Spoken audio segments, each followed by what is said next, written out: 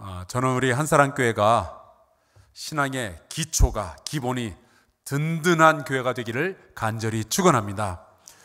어, 유행 따라 흔들리는 교회가 아니고 하나님의 말씀 속에서 우리의 신앙의 뿌리를 잘 내리는 그러한 교회죠.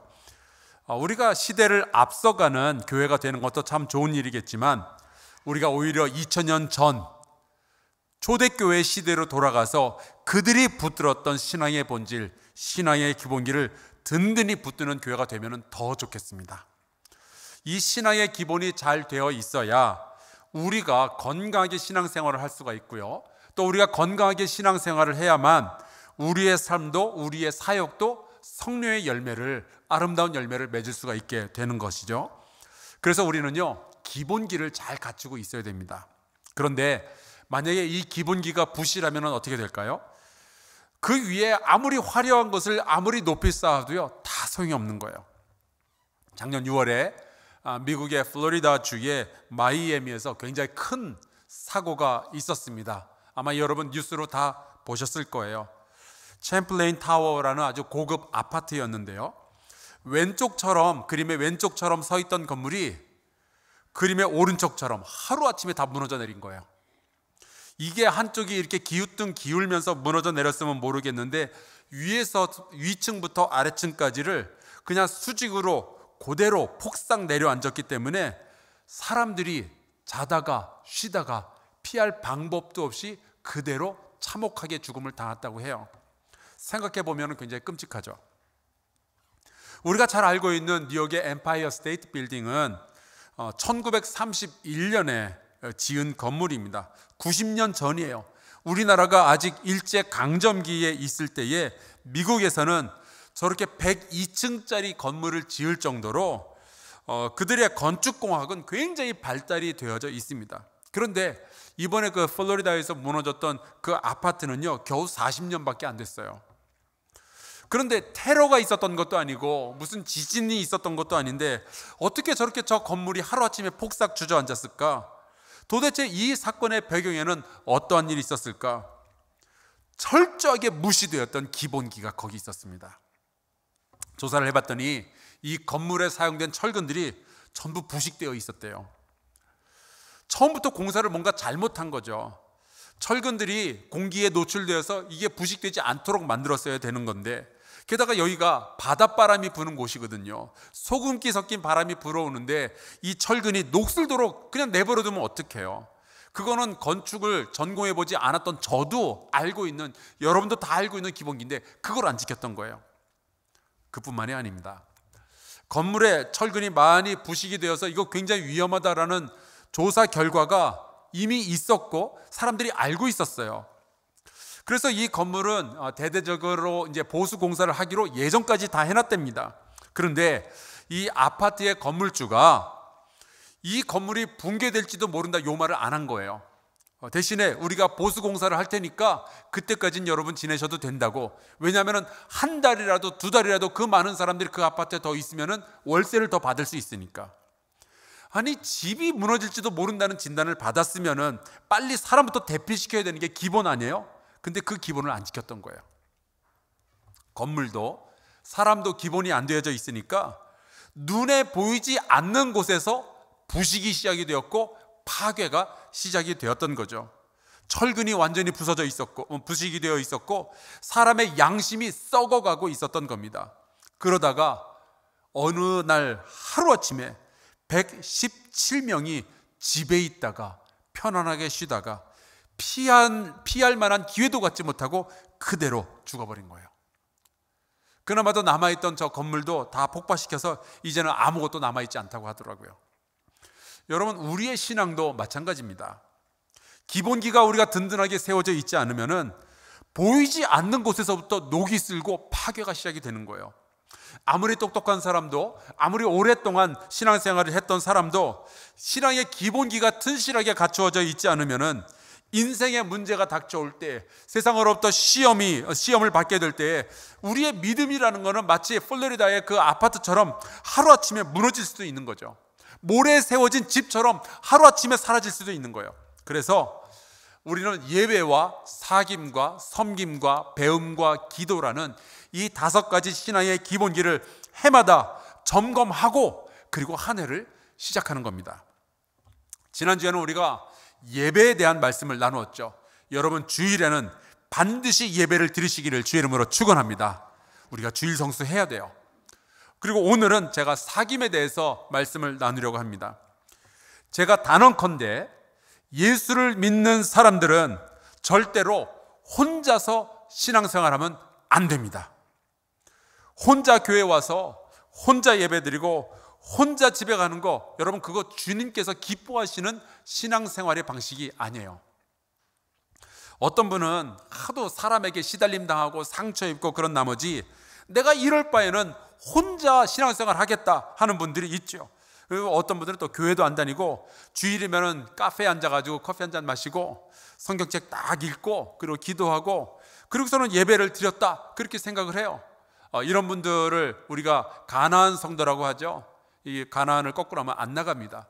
교회 안 나가도 나는 신앙생활 가능하다라고 생각을 하는 거예요. 이 코로나의 시기에 혼자 신앙생활 하는 사람들이 숫자가 굉장히 많이 늘어났다고 해요. 거실에 앉아서 어, 자기가 좋아하는 교회에 그 온라인 예배 그 중계 딱 틀어놓고 따라서 찬송도 부르고 기도도 같이 하고 또 설교도 듣고 은혜 받고 그리고 헌금은 그냥 자선단체에 기부하고 그래서는 나는 신앙생활 잘하고 있다라고 생각을 하는데 여러분 어, 그러고서는 주님과의 대면 속에서 나는 신앙생활 잘하고 있다? 아니에요. 저는 온라인 예배도 주님께서 받으시는 거룩한 예배가 될 수 있다라고 믿습니다. 그리고 분명히 혼자서도 예배 드릴 수 있다라고 믿어요. 하지만 그 모든 것이 교회 공동체와의 단절을 의미하는 거라면 여러 사람과 함께 신앙생활 하는 것을 거부하는 것을 의미하는 것이라면 그것은 절대로 주님께서 기뻐하시는 신앙생활이 아닙니다.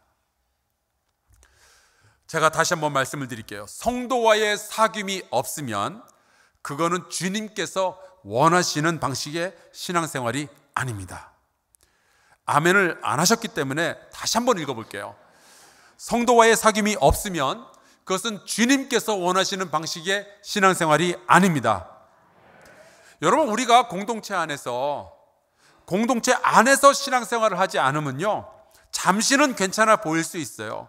하지만 시간이 흐르면 결국 우리의 신앙은 병들고 무너지게 되어 있습니다. 그래서 이런 격언이 있어요. 사람이 혼자서는 할 수 없는 일이 두 가지가 있는데 첫째가 결혼, 둘째가 신앙생활이에요. 오늘 우리가 읽은 이 요한복음 13장의 말씀은 예수님께서 제자들에게 하신 말씀이죠. 서로 사랑하라. 이 말씀은 하나님을 사랑하고 이웃을 사랑하라는 오래된 두 개의 계명과는 약간 좀 구별이 되어 있습니다. 아, 우리는 신앙인으로서 당연히 하나님을 사랑해야죠. 우리의 창조자이시고 그 하나님이 우리의 구원자이시잖아요. 하나님이 우리를 그렇게 사랑해 주셨으니까 우리도 하나님을 사랑하는 게 맞죠. 그래서 우리는 주님께 예배를 올려드리는 거예요. 그리고 또 우리는 이웃을 사랑해야 됩니다. 우리 주변에 사는 사람들, 이 힘들고 어둡고 메마르고 이런 어, 이런 세상에서 살아가는 사람들 다들 고단한 인생을 살아가고 있는데 그리스도의 사랑을 받은 우리가 또 그들에게 그리스도의 사랑을 전해서 이 격한 세상을 살아갈 힘과 용기를 불어넣어 주어야죠. 우리가 주님으로부터 사랑의 빚을 졌으니까 우리도 이웃을 사랑함으로 그 빚을 갚아야죠. 그래서 우리가 섬기는 일들을 열심히 하고 있는 거예요. 그런데 오늘 우리가 읽은 이 서로 사랑하라라는 말씀은 분명히 주님께서 말씀하십니다. 새 계명이라고. 이게 새 계명이면은 오래된 계명이 있을 거 아니에요? 그 오래된 계명이 뭡니까? 하나님을 사랑하라, 이웃을 사랑하라예요. 그런데 그게 오늘 주시는 새 계명과 뭐가 다르냐? 여기 서로 사랑하라라는 말씀은요. 예수님께서 제자들에게 주신 말씀인데 이런 뜻이에요. 니들끼리도 반드시 사랑해야 된다. 예수 그리스도를 중심으로 모여진 공동체가 서로 사랑해야 예수 그리스도께서 주신 새로운 계명을 이룰 수 있다는 거죠. 근데 여러분, 제가 이 말씀을 묵상하다가 얼마나 가슴이 찌릿하게 아팠는지 몰라요. 왜냐하면은 우리 예수님께서 이 말씀을 하셨을 때가 바로 그 예수님께서 가룟 유다에게 철저하게 배신 당할 것을 아신 직후였거든요. 본문 말씀을 약간 거슬러 올라가서 21절에 보면은 이런 말씀이 나옵니다. 죄송합니다. 제가 읽을게요. 예수께서 이 말씀을 하시고 심령이 괴로워. 예수님께서 서로 사랑하라는 말씀을 하셨을 때는요, 진짜 괴로운 마음을 가지고 하셨던 그 말씀이에요. 심령이 괴로워 증언하여 이르시되 내가 진실로 진실로 너에게 이르노니 너희 중 하나가 나를 팔리라. 주님이 너무 괴로웠다고 하시잖아요. 왜냐하면 배신의 고통은 아픈 거니까. 그런데 유다의 배신은요, 어, 보니까 가끔 저희 집 식구들이 저 빼놓고 맛있는 거 먹고 그러거든요. 그것도 배신이죠. 근데 그런 종류의 배신이 아니에요. 이 배신은 예수님을 죽음으로 몰아넣는 배신이었어요. 요즘도 수많은 가정들이 인간 관계 속에서 배신을 당해가지고 무너지고 상처 입고 그러죠. 나만 사랑하겠다고 했던 그 남자가 그 여자가 나 아닌 다른 사람을 사랑하는 것을 보고 정말 밀칠 듯이 질투하고 분노하는 사람들, 상처 입은 사람들이 얼마나 많이 있는지 몰라요. 그렇게 가정들이 무너지는 거예요.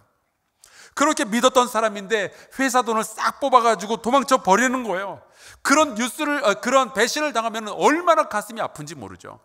요즘 뉴스를 보니까 오스템이라는 치과 재료를 만드는 회사에서 이 회사원 한 사람이 거의 2천억 원에 달하는 돈을 횡령했다고 지금 매스컴에서 떠들썩하게 어, 어, 보도를 하고 있습니다. 어떻게 혼자서 2천억을 떼먹을 수가 있느냐? 아마 거기에는 그 회사의 고위직에 있는 회사원이 공모를 했을 거다. 막 이런 얘기가 막 웅성웅성 그 퍼져가고 있죠.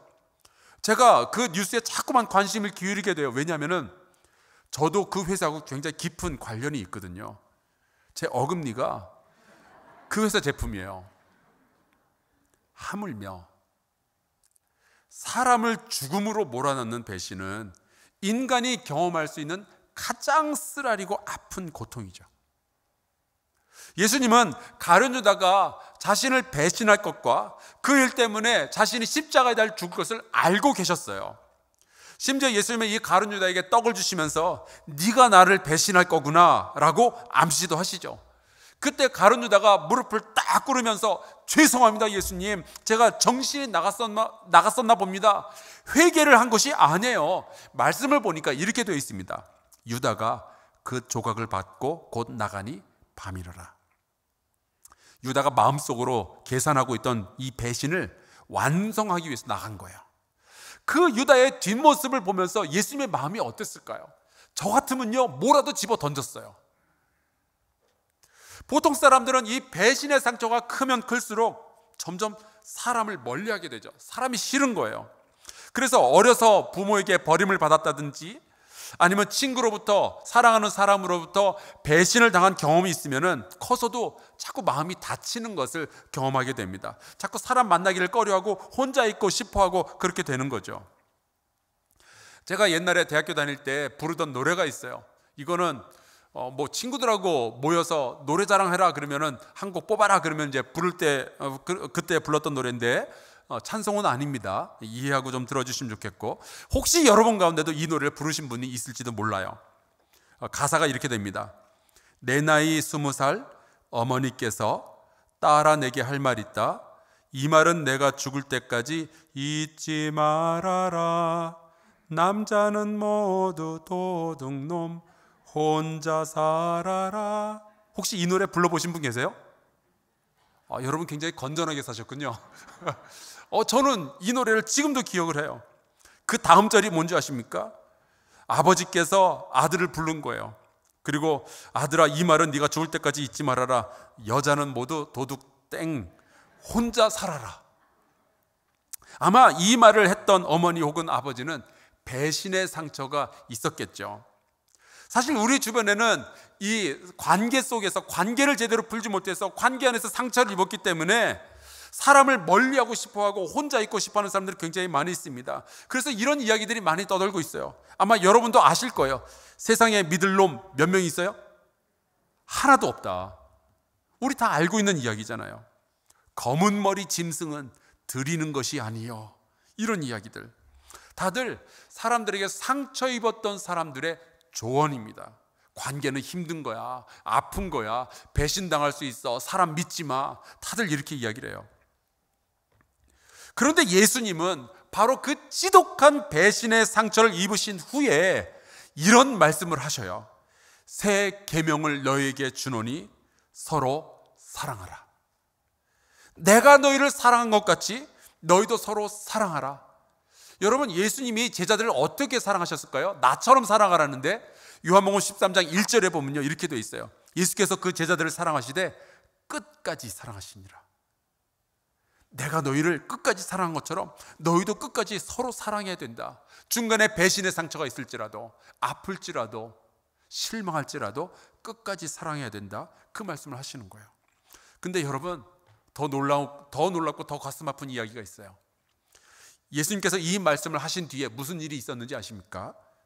예수님은 베드로가 그날 밤에 베드로가 예수님을 세 번 부인할 것을 알고 계셨어요. 아니 이건 또 얼마나 가슴 아픈 상처가 될까요? 여러분 그 정도면은 인간 관계에 신물 날 법도 하지 않아요? 공동체를 향한 어떤 소망 같은 거 다 내려놓을 법도 하지 않아요? 그런데 예수님은 예수님은 배신과 배신, 상처와 상처 그 사이에서 제자들에게 서로 사랑해야 된다는 말씀을 주시는 거죠. 그 말은 너희가 관계와 관계 속에서 상처를 받았고 앞으로 또 상처를 받을지라도 배신을 당했고 나, 나중에 또 배신을 당할지라도 여전히 너희는 서로 사귀고 사랑해야 된다는 말씀이에요. 가끔 저희 교회 어, 새로 등록하신 분들과 이야기 나누다 보면은 처음으로 예수 믿는 분들이 아니라 예전에 교회를 다녔었는데 한동안 신앙생활 안 하시다가 다시 저희 교회에서 신앙생활을 시작하신 분들이 계십니다. 근데 이분들은 보통 신앙생활 안 했어요. 그렇게 말씀 안 하시고 쉬었다고 그러시죠. 어, 잠시 쉬었습니다. 그래서 제가 여쭤봐요. 왜, 왜 한동안 쉬셨습니까? 여쭤보면 대부분 똑같은 말씀을 하셔요. 이전에 다니던 교회에서 상처를 입었다는 거예요. 그 교회 목사님에게, 그 교회 장로님에게, 그 교회 집사님에게 상처 입어서 내가 교회 안 다닌다. 그랬다는 거죠.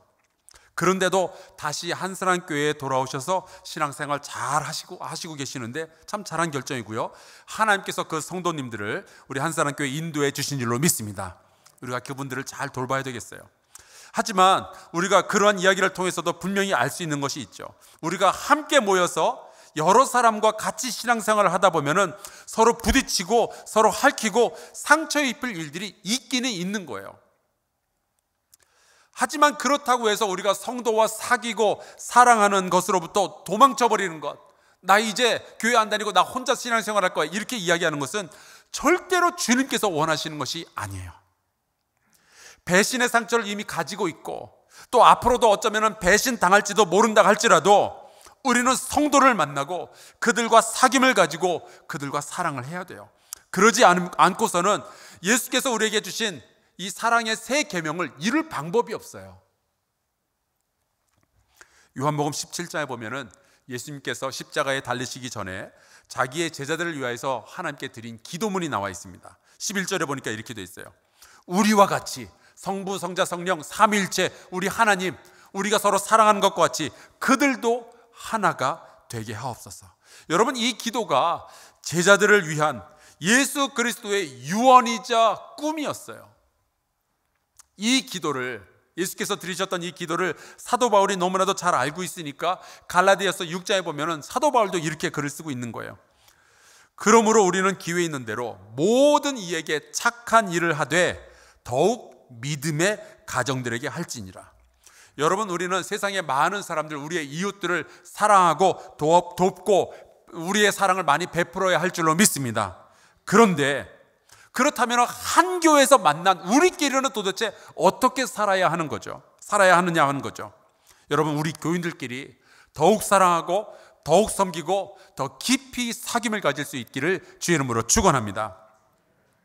그래서 우리가 만약에 실제로 상처 입을 것 알지만 그럼에도 불구하고 예수께서 말씀하시니 사랑한다면 어떤 일이 벌어지게 되는가?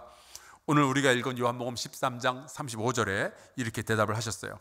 너희가 서로 사랑하면 교인들끼리 서로 사랑하면 이로써 모든 사람이 너희가 내 제자인 줄 알리라. 이거 뒤집어서 얘기하면 이런 거예요. 너희끼리 서로 사랑하지 못하면 너희는 내 제자 아니다.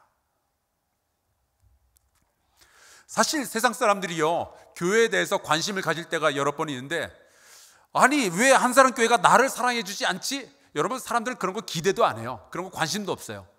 세상 사람들이 언제 교회에 관심을 가지는지 아십니까? 교인들끼리 사랑하지 않을 때.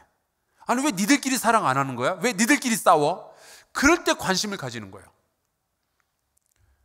니들이 예수님의 제자라면서 왜 서로 사랑하지 않냐? 그게 그들, 그들 간의 가십거리가 되는 거예요.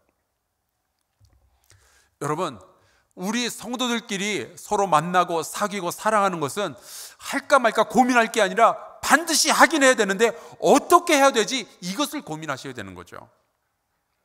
그래서 우리가 예수님의 말씀대로 우리가 서로 만나고 사랑하고 사귀고 어, 그런 공동체가 되면 어떤 일이 벌어지게 되는가? 사도행전 2장 46절 47절에 보니까 그런 아주 좋은 사귐을 가졌던 초대교회의 모습에 대해서 이렇게 기록하고 있습니다. 날마다 마음을 같이 했대요. 성전에 모이기를 힘썼대요. 그리고 집에서 만나가지고 함께 떡을 떼면서 기쁨과 순전한 마음으로 음식을 먹었대요. 그랬더니 어떤 일이 벌어졌는가? 하나님을 찬미하며 또 온 백성에게 징송을 받으니 주께서 구원받는 사람을 날마다 더하게 하시니라. 그 당시 로마 제국이 다스리던 사회에 살던 사람이 교회에 끌렸던 거예요. 저들한테 뭐가 있다. 초대교회는 그 시대 사람들이 굉장히 매력적으로 보였던 거죠. 성도 간에 서로 사랑하는 이 사귐의 공동체를 보면서 이 로마 제국을 살던 사람들은 그들에게서 소망을 보았던 거예요. 왜냐하면 그 시대는 서로 경제하고 서로 물어뜯고 자기의 탐욕을 채우려고 하고 서로 원수되는 것이 그 당시에 당연한 문화였었거든요. 사랑이 없기 때문에 절망적인 세상을 살고 있었어요. 그런데 교회를 봤더니 성도들이 자기 것을 나눠주고 서로 사랑하고 서로 사귀고 서로 섬기면서 살아가는 거예요. 그래서 그 로마 제국의 로마 제국의 시대에 살던 사람들은 교회 안에서 그 성도들의 사랑을 보면서 그들은 세상을 살아갈 만한 소망을 발견하기 시작한 거예요. 그래서 사람들이 교회에 몰려, 몰려들기 시작했고 그 교회가 복음을 전할 때 제대로 로마 제국에 먹혀 들어갔던 거죠. 여러분 교회는 세상으로부터 부름을 받아 다시 세상으로 보냄받은 선교의 공동체인 줄로 믿습니다. 그렇다면 이 공동체가 가장 먼저 해야 할 뭐, 일이 무엇이냐? 우리끼리 서로 사랑하는 거예요. 서로 사랑하지 않는 공동체는요, 세상에 나가서 우리와 함께하자 이 얘기를 할 수가 없어요. 니들끼리 서로 사랑이나 해라. 그런 소리나 듣게 되는 거죠. 그리고 우리가 서로 사랑할 때에만 우리가 진짜 예수 그리스도의 제자라는 증거를 가질 수가 있거든요. 우리가 사랑할 때에만 세상은 소망을 볼 수가 있는 거예요. 좋아요. 담임 목사가 이렇게 열심히 설교하니까 사귐이 중요하다는 거 우리 인정할 수 있어요. 그렇죠? 아, 뭐 동의할 수 있어요. 어, 괜찮은 것 같아요. 어, 사귀면 좋겠어요. 근데 여러분 마음속으로 동의하고 인정하는 그 선에서 멈추면 안 됩니다. 우리가 결단해야 되는 일들이 있어요. 바쁘다는 핑계로 옛날에 내가 상처 입어서 좀 무섭다는 핑계로 혹은 내가 성격이 되게 내성적이라는 이유로 숨어 있으면은 사귀면 절대로 일어나지 않아요. 그렇다고 우리가 여러분을 찾아내가지고 이, 이 사람하고 사귀라고 막 강제적으로 말할 수 있느냐? 그것도 안 돼요. 어, 하나님도 이 사실을 너무나도 잘 알고 계셨습니다. 아담과 하와가 선악과를 따먹은 다음에 너무 무서운 나머지 하나님의 낯을 피하여 하나님 만나기가 싫어가지고 나무 뒤에 숨어버렸어요. 그러면은 그들이 숨어버리면 하나님이 얘들이 어디 있는지 모르셨을까요? 아시죠? 아마 아담과 하와의 머리끄댕이를 붙잡아가지고 끌어내고 싶으셨을 거예요. 그런데 주님은 그렇게 안 하셔요. 대신에 이렇게 말씀하시죠. 너희가 어디 있느냐? 그들이 그냥 숨어 있도록 내버려 두셨어요. 그리고 아담이 하와가 스스로 대답하고 하나님 앞으로 나올 때까지 기다리시죠. 요한계시록 3장 20절에 보면은 예수님께서 이런 말씀을 하셔요. 보라, 내가 문 밖에 서서 문을 두들기면서 기다리고 서 있다. 문을 열어주면 내가 들어가는 거고 문을 안 열어주면 못 들어가는 거예요. 아니 예수님께서 그 능력 많은 분이 문짝 그냥 부수고 들어오실 수 있지 않겠어요? 아니면은 부활 후에 제자들이 숨어 있는 그 방에 쓱 들어오신 것처럼 문이든 벽이든 그냥 쓱 통과해 가지고 들어오실 수 있지 않겠어요? 그 정도 능력 가지신 분이잖아요. 그런데 예수님은 그냥 밖에 서서 문을 두드리시겠대요. 왜냐? 사귐이라는 것은 사랑이라는 것은 강제적으로 할 수가 없기 때문에 그래요. 죄 지은 게 많아도 부끄러워도 예전에 상처 입어서 상처 입어서 이제는 관계가 좀 무서워도 문을 열고 우리가 밖으로 나가기 전에는 누군가를 받아들이기 전에는 여러분 이 사귐이라는 것이 사랑이라는 것이 일어나질 않는 거예요. 서로 사랑하기 위해서는 그러니까 우리가 상처를 입었어도 불구하고 상처를 입었음에도 불구하고 앞으로 또 상처를 입게 될지도 몰라도 내가 여기 있다고 내가 그대를 만나고 싶다고 나오셔야 되는 거예요. 어, 이미 어, 숲 공동체를 가지고 계시는 분들은 지금 잘하고 계시는 거예요. 계속 성도들, 친구들, 믿음의 친구들을 그 안에서 만나고 신앙생활 잘 하시길 바랍니다. 하지만 아직까지 이 숲 공동체에 속하지 않은 분들은 오늘 여러분께서 결단하셨으면 좋겠어요. 여러분의 결단을 돕기 위해서 저희 교회는 이미 아주 좋은 시스템을 마련을 해 놓았습니다. 저희 교회는 약 3,500명 정도의 성도들이 등록 성도로 되어 있으신데요. 아, 이분들은 사랑산, 화평산, 온유산, 충성산 이렇게 네 개의 산에 소속되실 수 있습니다. 그리고 그 각각의 산은 다시 동산이라는 작은 어, 중형 중형 공동체로 구분이 되어 있고요. 그 동산에는 다시 숲이라는 더 작은 공동체들이 만들어져 있는데 바로 이 숲 공동체 한 다섯 명 여섯 명 모이는 이 숲 공동체가 우리 성도들이 사귐을 시작하고 배울 수 있는 가장 작고 기본적인 공동체인 거예요. 저는 여러분이 3,500명을 다 친구로 삼을 수는 없다라고 생각을 해요. 다만 여러분께서 이 작은 숲 공동체에 속해서 예수 그리스도의 말씀하시는 대로 서로 사랑하는 것을 경험해 보시기를 간절히 축원합니다. 여러분 사실은 성경은요 우리에게 사랑에 빠지라고 이야기한 적이 없어요. 대신 사랑 안에서 자라가라라고 말씀하죠. 사랑하지 않으면요 우리가 성도 안에서 사귀지 않으면요 우리의 신앙이 자랄 수가 없어요. 사람들은 소그룹을 통해서 친밀해지고 서로를 알아보고 돌보고 또 삶을 공유하고 도전과 도움을 주고 또 비밀을 이야기하고 죄를 고백하고 용서하고 용서받고 함께 울고 함께 웃고 서로에 대해서 책임을 지고 서로 점검해 주고 여러분 그러면서 성장하는 거예요. 만약에 우리가 사랑과 사귐을 멈추면은 사랑 안에서 자랄 수가 없고 사랑 안에서 자랄 수가 없으면은 우리의 신앙은 언젠가는 무너지게 되어 있는 거죠. 어, 코로나로 인해서 사람 만나기가 너무 어려워졌다라는 이야기가 있습니다. 그런데 여러분 아시죠? 마음만 먹으면 얼마든지 만날 수 있어요. 점심시간에 우리 교회 근처 국밥집 가잖아요. 사람이 꽉 차서 줄 서서 기다려야 돼요. 그런데 유독 성도만은 못 만나겠다고 하는 그 이야기는 어, 성립이 안 되죠. 여러분, 우리 만나야 돼요. 근데 만나기 어려운 분들이 계시더라고요. 아, 병원에 입원한 분들. 정말 우리가 만나서 기도해주고 위로해주고 그래야 되는데 병원이 막 못 만나게 막아버리는 거예요. 재밌는 이야기도 해주고 교회에서 어떤 일이 어떤 일들이 있었는지 다 말해주고 싶은데 전화만 가능하다는 거예요.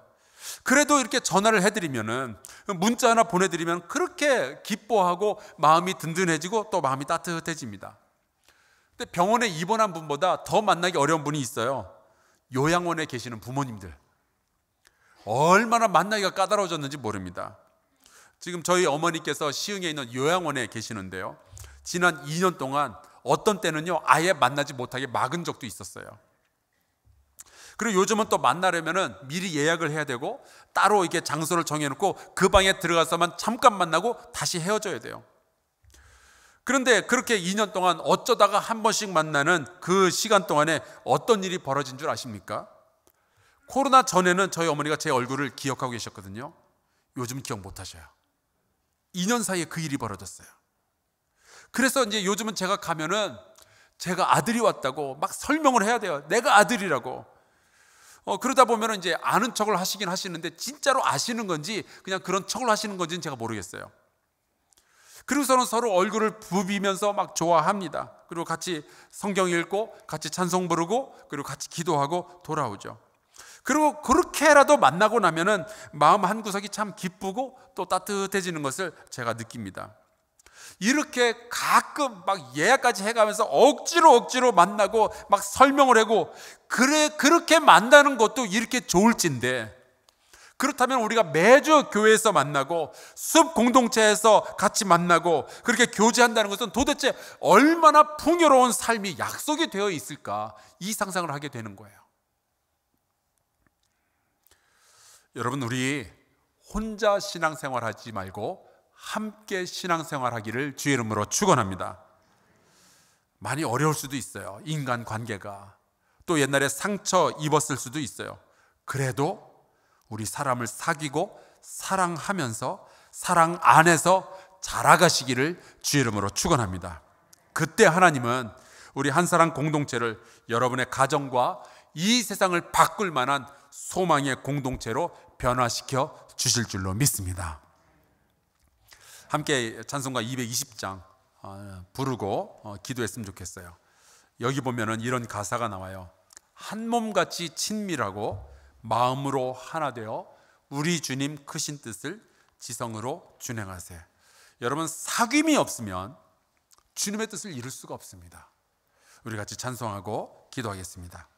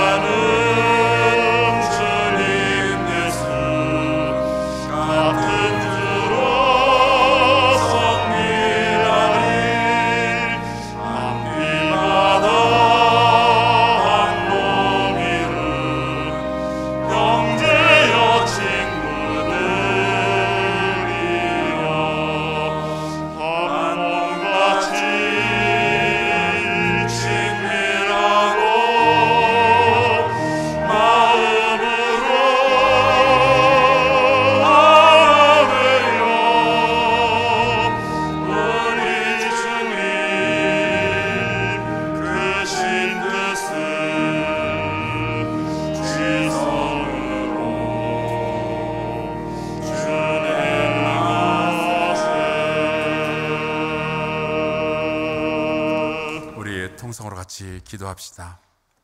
하나님, 거룩한 사귐을 통하여 하나님의 풍성한 소망을 이루는 교회가 되게 하여 주옵소서. 우리가 서로 사랑하는 성도들이 되게 하시고 주의 참된 제자, 가 되게 하여 주옵소서. 각 소그룹에 성령을 허락하여 주시고 관계의 상처들을 속히 치유하여 주옵소서 통성으로 같이 기도하겠습니다. 하나님 아버지 주께서 우리 성도들을 붙들어 주옵소서 우리가 한사람 교회에서 만나게 된 건 다 주님께서 인도하심입니다. 이곳에서 우리가 믿음의 친구들을 만나게 해주시고 바로 이곳에서 신앙의 선배들 후배들을 만나게 해 주시옵소서. 우리가 사랑함으로 성장할 수 있도록 허락하여 주시고 하나님 아버지 우리의 성도와의 사귐 가운데서 우리의 신앙이 든든하게 세워지기를 간절히 소원하고 원합니다. 아버지 하나님이여 나 홀로 신앙생활하는 것이 아니라 사람이 무섭다고 숨어버리는 것이 아니라 내가 여기 있사오니 주여 내가 만날 사람을 만나게 해주시고 하나님 사랑하고 용서하고 용서받고 하나님 서로 도움는 가운데 이 세상의 소망이 되어가는 우리 한사람 교회가 되게 아버지가 인도하여 주시옵소서. 존귀신 주께서 우리 한사람 교회 숲 공동체를 붙들어 주시고 이 숲 공동체가 날마다 풍성하게 부흥할 수 있도록 주여 주께서 역사하여 주시옵소서